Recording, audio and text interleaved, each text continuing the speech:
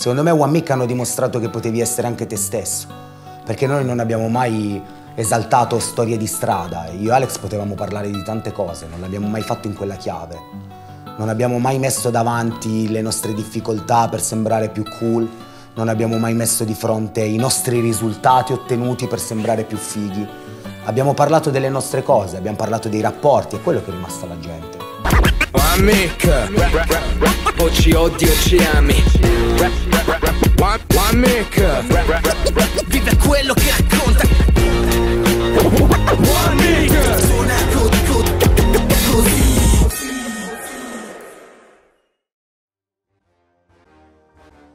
Sicuramente eravamo tre ragazzi di periferia, delle periferie di Torino e ovviamente per, per ragioni proprio di famiglia io e lui vivevamo anche Ci eravamo già visti. Ci eravamo già visti da qualche parte. sì. E invece con, eh, con Marco mi sono conosciuto a Reggio e abbiamo iniziato prima io e te in realtà, perché tu stavi già facendo il tuo primo demo. Sì. Cioè non sapevo neanche quanto doveva essere lunga una strofa. Arrivai a registrare la prima strofa nel demo vostro, il featuring mio, a nome Ensid Bad Fat, faceva già ridere, mi piaceva sta roba di Feggiono. E mi ricordo che ho finito di registrare e tutti mi hanno guardato come per dire ma ne manca, manca una frase. Manca io, mezza misura. E io questa cosa dicevo ma che cazzo dice? No è giusto, perfetto. No? Rappresenta questo stile di sicuro Lo stile che ti faccia un po' più duro Io ho la faccia di... Chiaramente, ripeto, a parte quelle dinamiche da fratelli dove ovviamente non vai, soprattutto negli anni dell'adolescenza, non vai troppo d'accordo. Non, ab- non siamo, non siamo stati poi così tanto in conflitto. Mi ricordo chiaramente quando mio fratello entrò in camera una sera mi ha sentito fare freestyle e mi, mi aveva detto se era veramente freestyle, pensavo che era magari delle robe appuntate. E io gli dissi no, e lui mi disse guarda che se il tuo livello è questo, a Torino sei il più forte. Basta gare, voglio alzare un po' un attimo il livello Quindi datemi un oggetto che vi faccio sentire ciò che ho da dire Freestyle ad argomento, ok? Non è roba per tutti, provaci Venuto fuori che io sapevo fare le cose, quindi il loro terreno di confronto era lo stesso mio. E dici ok, è acerbo, ha sicuramente delle cose da sistemare, devi imparare a contare le barre, però ce l'ha. Ho lasciato questa pausa che era abbastanza evidente Per fare come i politici che parlano e non dicono niente nostra musica è stata forte proprio perché magari io facevo un po' più d'ago della bilancia su alcune robe, loro avevano proprio più l'istinto, l'estro, la sfacciataggine anche, quindi la cosa secondo me più bella e importante è stata proprio la formazione a livello personale. Quindi abbiamo proprio costruito tutto da zero e Iari veramente ha iniziato a prendere cioè a seguire noi, a vedere le cose, e poi ovviamente aveva un talento che gli è stato riconosciuto e tutto, quindi è stato un processo molto naturale. Originale stile al Io sto insieme a Regmi che è Costantino l'italiano Italiano, Rivogata molle con lo capisci È stato un processo del tutto naturale che l'ha portato a, a lavorare insieme. Chiaramente fra fratelli c'è sempre un po' di conflitto. quindi Pensavi solo andare in motorino. Sì, andavo in motorino, però comunque facevo il mio rap, facevo freestyle anche se non mi avevano beccato. Ovviamente io avevo un po' di invidia del fatto che mio fratello più grande facesse sta roba. In casa c'è da dire che mm, non, non abbiamo avuto noi due una grossa cultura musicale. Non siamo figli d'arte in qualche modo, mio padre non aveva una grande collezione di dischi. Ascoltavano poca roba italiana, un po' mista. Torino credo che conti qualcosa come 800-900 mila abitanti, ma se unisci la provincia ne fa 2 milioni e mezzo. Quindi le grandi città italiane sono fatte dalle province, noi siamo un paese di provincia. Il fatto di appartenere a quella zona, secondo me mi ha dato un connotato specifico nel fare rap, secondo me ce l'ha dato, perché anche poi Raiden veniva comunque anche lui dalla provincia, quindi ce l'ha fatto fare in maniera diversa, noi facevamo Sì. in maniera diversa rispetto ai ragazzi di Torino. La territorialità in generale è sempre una cosa molto forte nel rap, quindi noi abbiamo detto più Torino, Black City, le abbiamo dato questo nome, i ragazzi la chiamano ancora così la città. Quando io sentivo i rapper eh, italiani venire a suonare a Torino e dire buonasera Black City, per noi era Motivo di orgoglio. Cioè abbiamo- l'abbiamo messa sulla mappa sul serio, no? Mi ricordo mi affezionai a que- cioè una delle cose che mi piaceva loro è Black City Torino, no?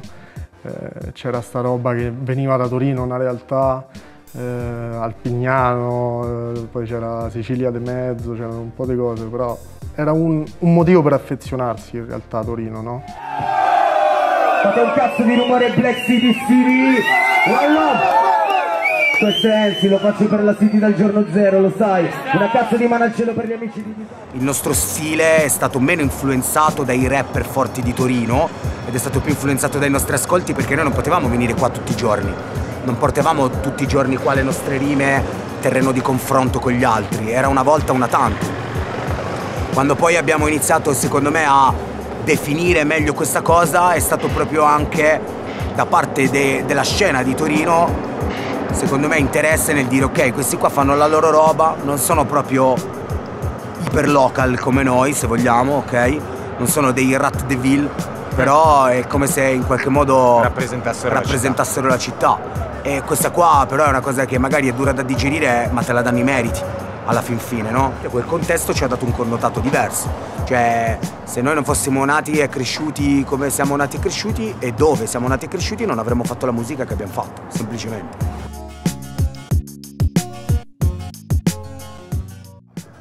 E poi c'era proprio il concetto della via Crucis, no? si passava di locale in locale fino agli after che duravano fino alle 10 del mattino, 11 del mattino. Adesso sembra normale che ci sono serate dove su 10 pezzi 7 sono italiani, giustamente questo dà anche un grande volano a tutte le persone che fanno musica in italiano, ma ai tempi non esisteva questa cosa qui, quindi il piccolo episodio di freestyle, il piccolo showcase quella cosa che, che iniziavamo a fare ce lo vivevi proprio come una conquista, no? perché l'hip hop stava prendendo piede sì, e si capiva che sarebbe entrato insomma dalla porta principale se prima era entrato dall'uscita di sicurezza quindi i locali hanno fatto a gara per accaparrarsi il DJ in grado sia di farti la selecta giusta ma anche di portarti poi personalità giuste all'interno dei locali che magari erano di riferimento per la città.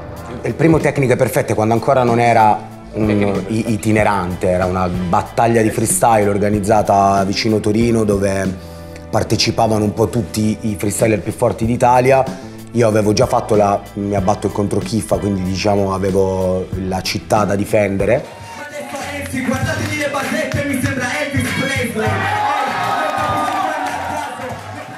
Mm, Mi chiesero di fare uno show anche, però io non avevo dei pezzi, avevo qualche strofa. Loro avevano i pezzi, ho detto ragazzi potremmo no, uniamo le cose. Anche il nome One Mic eh, era One Mic di Nas, italianizzato. Quindi avevamo il eh, con un font orribile. Una scritta davanti. Con delle maglie con dei tagli orribili ovviamente, però l'out- l'out- l'outfit non contava allora. Quindi quando uscì il promo io mi ricordo che avevamo un po' di numeri di telefono, un po' di... Eh, e l'abbiamo mandato a tutti. Cioè io di mio... da- da- sì, dalla Spedivamo. posta ne ho spediti 5 copie, avevo chiesto a Jake se mi dava un indirizzo, mi aveva dato quello di Vincenzone. Stessa cosa era successo poi a... Oh, se becchi quello daglielo, no? E quindi chissà come Torme riceve sto coso e ci telefona. Sono tornato a casa e appena l'ho sentito comunque sono stato subito colpito. La prima cosa che ho fatto infatti è stato telefonare al numero di telefono che c'era dietro il demo. Mi ero accorto subito che loro spaccavano perché erano in tre tutti bravissimi a scrivere, tutti bravissimi a reppare, giovanissimi. Quindi io me lo ricordo quando gli squilla il cellulare a lui e inizia a girare per la camera così e io gli dico chi è? E lui mi fa tormento. E io dico ma vaffanculo, non ci, non ci credevo, lo pigliavo per il culo, Invece quindi ci lui. mettiamo così ad ascoltare e cazzo ci faceva i complimenti per quella roba. Non c'era nessuno sopra Torre. Rap in quegli anni non era fatto di quelle cose là. I ragazzi dei quartieri, dei quartieri pesanti, del- non, non ascoltavano il rap e non facevano rap. Ce n'erano pochissimi che arrivavano da quei contesti e arrivando da quei contesti che non avevano nulla a che fare con l'hip hop, facevano un passo indietro da quel contesto. Adesso i ragazzi arrivano da ogni estrazione, arrivano anche dalle situazioni peggiori, raccontano determinate cose, fanno vedere nell'immaginario determinate cose perché quella roba lì ormai è di tutti, è fruibile e non è, non è neanche una storia così innovativa. Per noi era più innovativi essere dei ragazzi di Torino che facevano rap in quella maniera, che dicevano quelle cose, piuttosto che accodarci a un immaginario comune che si poteva avere allora. La letteratura e la metrica, la scrittura, cioè quando chiudi qualcosa in maniera figa si sente. Essere rapper non vuol dire essere ignorante, cioè puoi essere ignorante nell'attitudine, ma fra di le due cose. E, e lì ce n'era di cultura, ce n'era un botto. Non c'erano solo più le leggende, non c'era solo più caos o i sottotono che comunque li abbiamo visti purtroppo essere distrutti in televisione da un meccanismo che non capiva e non ci capiva che provava di, quasi di, di, coda dagli anni 90 ancora a dargli questa cosa qui, ma il rap non era più destinato a quella roba lì. Noi un po' lo soffrivamo, ma in realtà dentro di noi sapevamo che questa roba stava crescendo perché il livello del rap si stava alzando, non erano più in tre a essere bravi. Oggi Milano è il centro di tutto, ma perché tutti i rapper da tutta Italia sono confluiti in questa città. Invece in realtà all'epoca i grossi centri erano Torino, Bologna e Milano. Amic magari si sono ritrovati in una realtà in cui tutto si stava spostando verso Milano, ma perché davvero tutti i rapper confluivano verso quella città. E poi la realtà dei fatti è che noi arriviamo nella grande depressione del rap italiano. Esatto, non arriviamo a metà anni 90 o primi anni 90 dove sta roba era boom, arriviamo nell'appunto 98-99, inizialmente voi, io 2000 più o meno. Esatto. Primi 2000, eh, anche andare, non lo so, nei luoghi culto di Torino come il Regio, non era più il 94 quindi anche gli esponenti della città non erano più al vertice. Io mi sentivo un po', no, immagino anche voi, come dire, cazzo siamo arrivati troppo tardi, sta roba sì, è, è, finita. Vero, è vero. Cioè ci siamo appassionati di una roba e in realtà in realtà non lo capivamo, ma era l'inizio di tutto. Abbiamo evoluto proprio uno stile nostro, nel senso che anche io mi ricordo in quei tempi magari qualcuno usava una metrica tra noi tre per la prima volta, allora gli altri poi prendevano questa cosa, la evolvevano, cioè ci stimolavamo a vicenda. La cosa bella di One Mic secondo me è che c'era tra di noi competizione sì, sana sì, sì, è vero. e questo ci portava inevitabilmente che ti svegliavi il giorno dopo ed eri più forte del giorno prima esatto. perché avevi avevi per forza necessità di essere. Se non ti sentivi abbastanza richiamato da sta roba non saresti mai andato avanti perché chiaramente tutto il mondo attorno a te andava in una direzione opposta. Dopo tecniche perfette alla fine sta cosa funziona, il trio funziona e guarda caso noi eravamo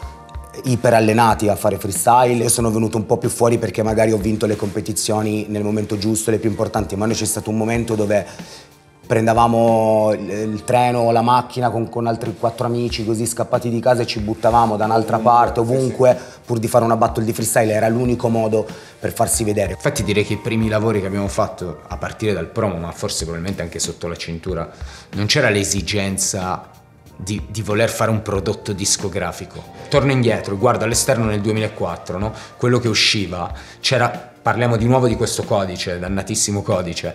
Cioè, chi faceva musica, i nostri diretti competitor, se così vogliamo chiamarli, lo facevano in un modo diverso. Noi, chi paga delle volte, volevamo già parlare alle persone norm- cioè, normali, adesso, sì, alle persone che non, non appartenevano alla nostra cultura. Cioè, l'idea era ma già di andare farlo, lì. Ma senza farlo apposta. Era il cioè, linguaggio nostro era che era il nostro quello. modo di, di, di, esporci. Noi avevamo già ricevuto un po' di props perché magari ci avevano visto dal vivo o qualcuno gliel'aveva detto. Che il rap era una musica che si parlava molto addosso e parlava soprattutto ai rapper, per cui se posso permettermi era una grande rottura di coglioni a quel tempo il rap. Cioè se tu ce la facevi a quel momento, da quel momento in poi diventavi un nemico no? della scena underground eccetera eccetera. Stiamo parlando di un ambiente che era difficile da connettere ma era comunque piccolo, quindi una volta che hai fatto breccia già in quei due o tre nomi, quella roba è oh chi sono questi qua di Torino? E comunque il fatto di aver avuto delle famiglie che hanno sempre capito, accettato sia la mia che la loro, dal giorno zero è comunque una fortuna e un privilegio perché se uno contestualizza magari una persona di 40-50 anni ai tempi che ascoltava il rap fatto come lo facevamo noi, vestiti larghi, è come se ci fossero gli alieni, cioè non è scontato che un genitore ti dica sono fiero di te, vai, segui i tuoi sogni. I nostri genitori erano molto più contenti del fatto che non ci vedessero perdere del tempo in altre cose o il fatto che questa cosa ci teneva molto impegnati e concentrati su questa roba e lo dico anche da genitore, questo era secondo me per loro un sollievo. Quando gli dici che vuoi fare musica, no? Eh per un genitore è motivo di vanto e di orgoglio. Secondo me se noi non capivamo cosa stessimo facendo e per tutti i motivi che ci siamo detti precedentemente, non c'era la visione d'insieme di un business, figurati chi era di fianco a noi. Mi ricordo mio padre quando decisi nel 2010 di mollare completamente il lavoro per dedicarmi alla musica, l'unica cosa che mi disse è i piccioli li fai, cioè soldi ne fai? Ho detto sì papà abbastanza per poterlo, poterci provare a lui, per lui era sufficiente questo perché comunque arriviamo da famiglie di lavoratori, per noi era importante, cioè cosa fai nella vita? Mantieniti, costruisciti qualcosa, ci tenevano a quello. Poi per nostra madre nello specifico il fatto che l'abbiamo fatto con la musica, camminava tanto così da terra lei. Uscì poi nel 2005 sotto la cintura che è stato il primo disco ufficiale, anche per contestualizzare il fatto che c'era proprio un percorso lungo ai tempi, no? non c'erano me- anche fare un disco era una cosa impegnativa Sì, sì, ma economicamente, come tempi, come capire dove farlo uscire. Cioè, Arrivare a connettersi per avere dei producer Bravo. all'interno dell'album che non fossero della zona, no? Esatto. Quindi non fossero dei local per arrivare ad avere Zonta, Rubo. E quindi abbiamo iniziato a, a dire spingiamo su sta roba delle battle perché poi post, post 8 Mile eh, fioccavano battle con premi ovunque. Noi avevamo questa skills e abbiamo detto come cazzo ce lo paghiamo il disco, comunque nessuno di noi aveva la possibilità di mettere avanti dei soldi per fare un album e quindi abbiamo detto ok, da adesso in poi ci iscriviamo a tutte le gare dove possiamo arrivare, dove c'è un premio in denaro e lo mettiamo in un cassetto comune per fare il disco dei One Mic. E noi andavamo Raiden primo, Rage secondo, Enzi terzo, io primo, lui secondo, lui terzo, lui... cioè era così, podio smezzato.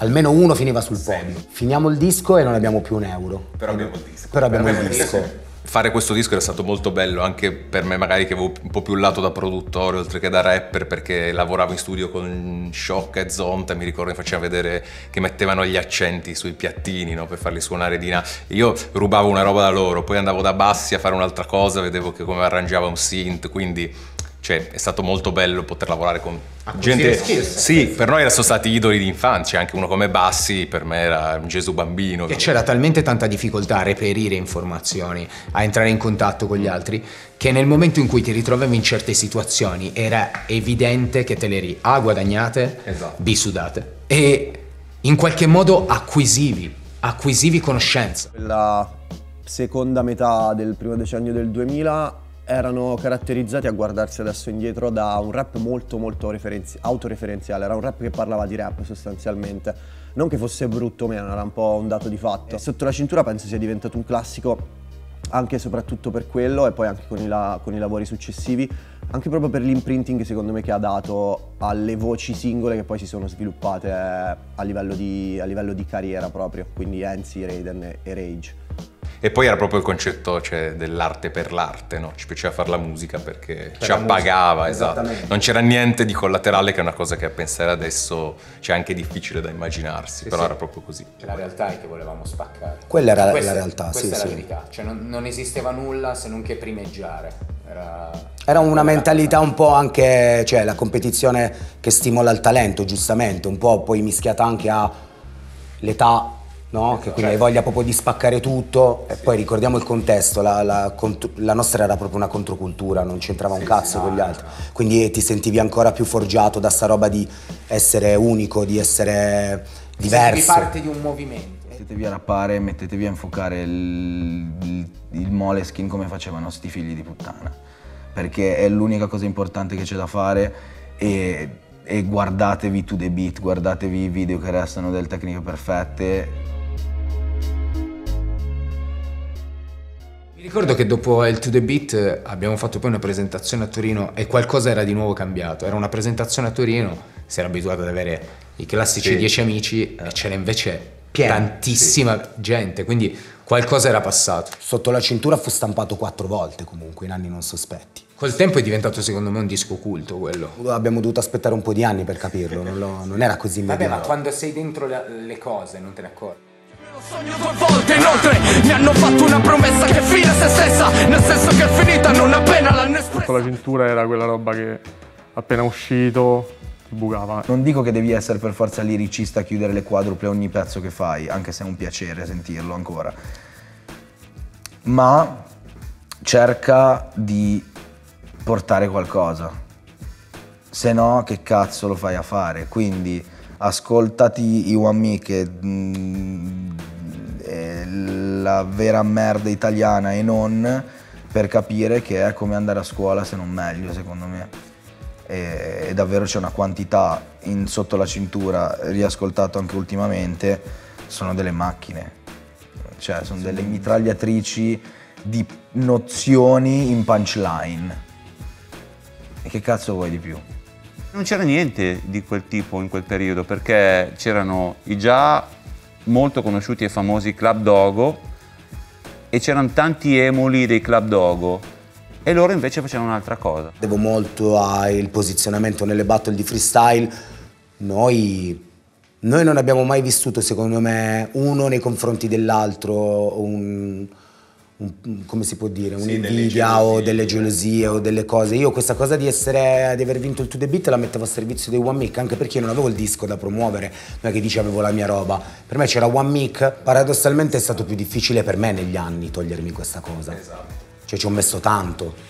Sono dovuto arrivare a, sotto, a- a- Era tutto un sogno nel 2012, dopo Spit, dove ci ho dovuto mettere una pietra sopra, da lì in poi farlo sempre di meno, impegnarmi tanto sui dischi e farmi tre volte il culo rispetto a tanti altri colleghi, altrimenti rimane sempre quella roba là. Ma io mi ricordo anche proprio il To The Beat.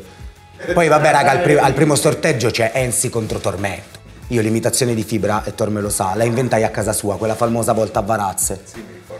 E li facevo ridere, ma allora ancora non c'era stata quella cosa, no, fra di loro. E ci fu poco dopo, quindi vado al To The Beat. Ovviamente mio fratello mi fa, oh, se becchi Torme subito, vai con Fabri, immediato. E io no, no, no. Lui era un pezzo di merda, subito, vai, vai con Fabri. Ho detto no, no, però se lo dice lui, se lo dice lui, lo dico. E infatti lui chiude, altro che Elsi, voglio Fabri Fibra. Se uno guarda il video si vede io che mi giro e guardo lui e dico, eh vabbè, ora ci sei cascato. Chi fa? È vero pure quello stronzo me lo fumo che sfiga Altro che Ensi, voglio Fabri Fibra Cazzo Oh, Yoshi a.k.a. Tormento Varese. Yeah yo. To the beat ragazzi questa è una finale già eh. Ok, adesso 60 sec per Ensi, Torino un'altra volta. Ok, un'altra rima è solo altissimo Vuoi Fabri Fibra, io lo imito benissimo. Ehi Torme, questo stile puoi vederlo. Arrivo con lo stilo, picchio te poi tuo fratello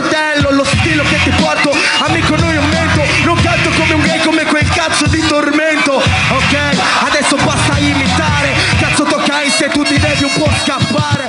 E questo stile te lo porto un attimo. Tengo sempre a, a- a pensare anche al fatto che sotto la cintura è del 2005. L'anno dopo iniziano a cambiare le cose, ragazzi, perché iniziano i primi rapper italiani finalmente di nuovo firmati per le multinazionali. Esce Tradimento, esce aspettiamo il secondo album dei Club Dogo, tutti lo aspettano. Mondo Marcio. Esce Mondo Marcio. Ave- eravamo passati da vedere 100 persone massimo a una festa a 5.000 persone al To The Beat. Questa roba esiste, è destinata ad andare. Per noi era, è chiaro, questa sarà la nostra vita per sempre. Subito so- dopo Sotto la cintura, l'anno dopo, esce il primo disco solista della tripletta One Mic. Quindi quando abbiamo capito di non riuscire a fare un secondo capitolo nell'immediato, l'idea era quella di, ok, allora ognuno lavora a qualcosa di suo, coinvol- Coinvolgendo coinvolgendo, gli gli, altri. altri. quindi era comunque un lavoro corale. Infatti Toraki, eh, Calma e Vendetta sono comunque tre dischi nei quali noi siamo molto presenti.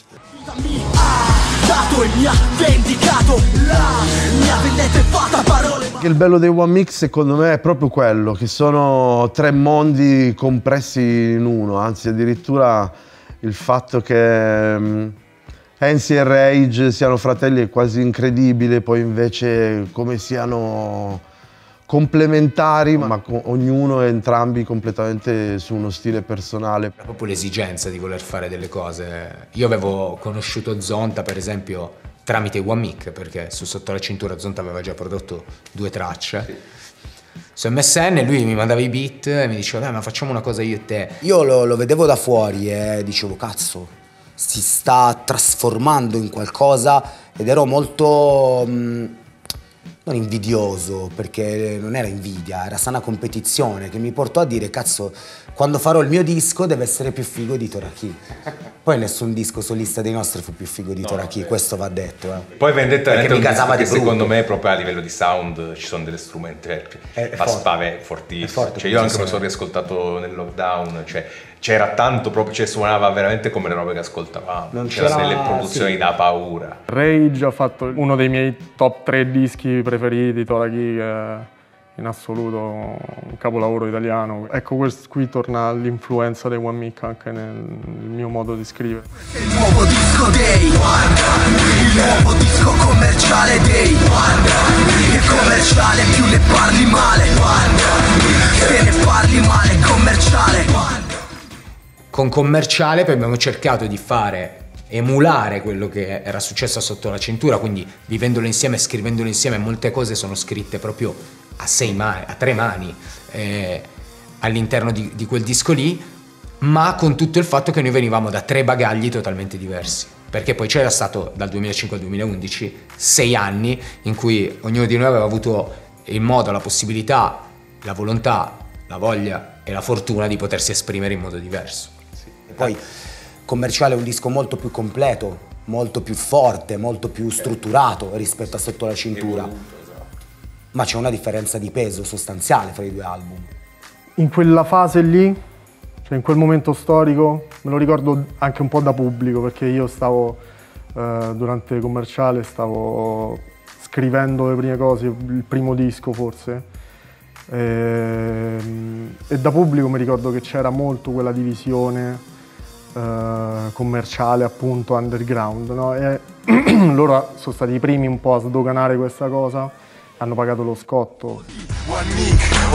Dalla città della vecchia signora. Non c'è storia per la nuova scuola I vecchi miti. Forse per i One Mic che erano un po' più legati a, alla scena hip hop, soprattutto Ensi era molto dentro la scena hip hop, era no, difficile cercare di, di, fare delle cose che fossero un po' più mainstream. Però alla fine a me sembra che commerciale, il disco commerciale non fosse così mainstream, fosse appunto l'evoluzione di quello che erano nel disco prima.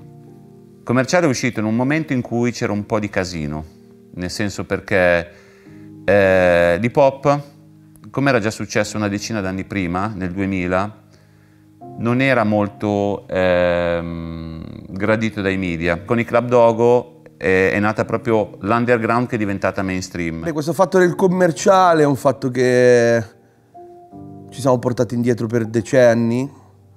Credo che adesso sia finito finalmente perché era veramente una rottura di coglioni. Diciamo che all'epoca commerciale era qualsiasi cosa facesse successo. Ho cercato di trasmettere anche ai ragazzi una cosa fondamentale, di non curarsi mai di quello che diceva la gente, perché la gente un giorno c'è, un giorno non c'è. Io mi permetto di dire che siamo stati tra quelli che hanno cercato di equilibrare forma e contenuto a un livello veramente alto. Erano tre rapper che volevano fare l'hip hop in una maniera bella, appunto. Adesso probabilmente avrebbe, avrebbero dieci volte tanto il successo che hanno avuto con commerciale. Prima era quella roba a metà che, non, non, la, alcuni non capivano bene. Secondo me One Mic hanno dimostrato che potevi essere anche te stesso, perché noi non abbiamo mai esaltato storie di strada. Io e Alex potevamo parlare di tante cose, non l'abbiamo mai fatto in quella chiave. Non abbiamo mai messo davanti le nostre difficoltà per sembrare più cool, non abbiamo mai messo di fronte i nostri risultati ottenuti per sembrare più fighi. Abbiamo parlato delle nostre cose, abbiamo parlato dei rapporti, è quello che è rimasto alla gente, abbiamo delle parlato persone. delle persone. Credo che i One Mic abbiano dato modo alle penne di venire fuori anche.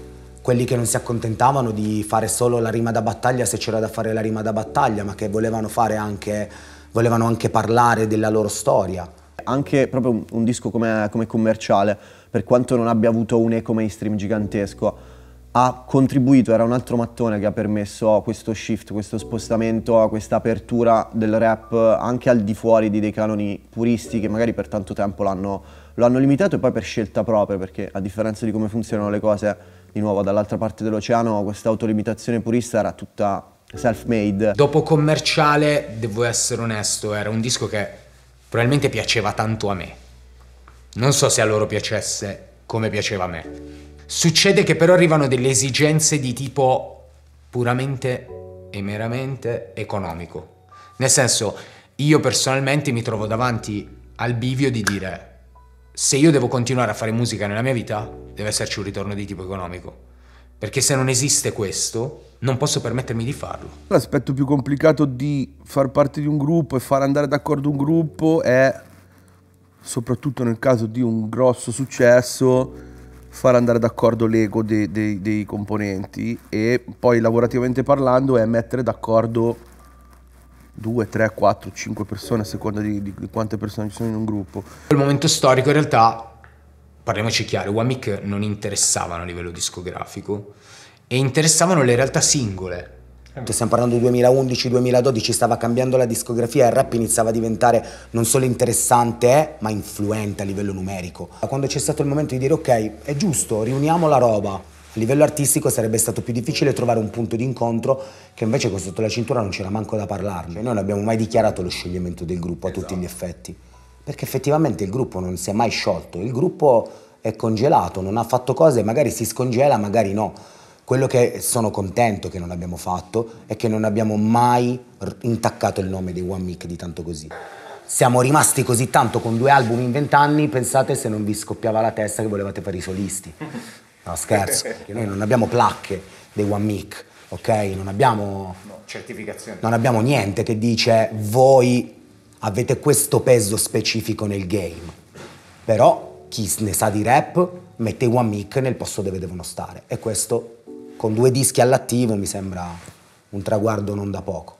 Se chiudete gli occhi un attimo, il nostro gruppo in attività a oggi, senza me aver mai cambiato rotta. Fucking legend. Untouchable, no?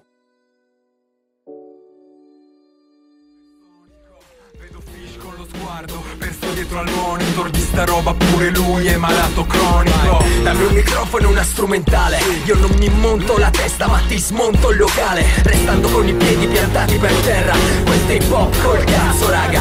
Questa è guerra. Senza pistole con le parole mai c'è. One two questo c'è. One two pure questo c'è.